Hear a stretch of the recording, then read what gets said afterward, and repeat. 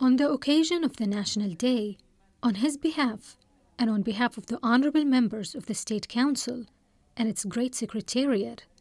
it gives him great honor to extend sincere congratulations to His Majesty,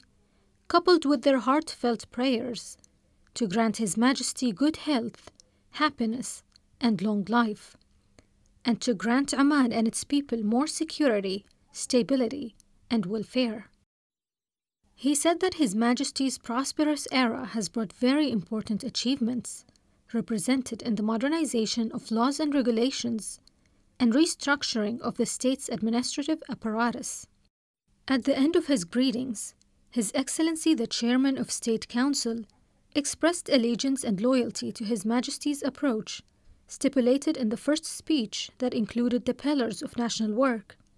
taking into account political, economic, health, and social changes in the world, praying to Almighty Allah to crown His Majesty with success.